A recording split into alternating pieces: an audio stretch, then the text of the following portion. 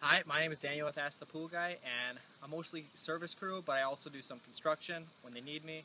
Um, by far, my favorite part is getting out and being challenged every day doing stuff on services. Always something new, always something going on, and it's even more of a challenge when you go to construction, dig trenches, do what you got to do.